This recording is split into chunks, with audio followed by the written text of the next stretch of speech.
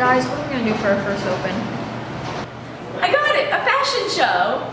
Yes.